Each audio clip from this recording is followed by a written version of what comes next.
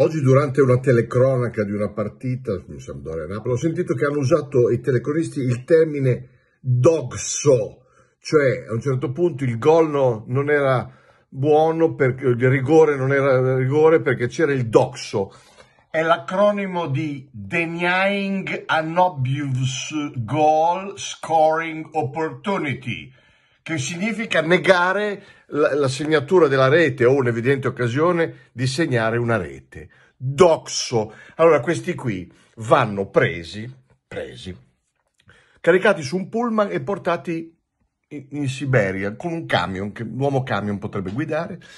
poi dopo scaricati là, dicendo arriviamo subito, ecco questi qui, poi si torna via velocemente, loro rimangono là, gli si lascia due o tre smerigli che se vogliono smerigliarsi le chiappe del culo con lo smeriglio del 15, andare a fare degli squassi, possono fare quello che vogliono, però là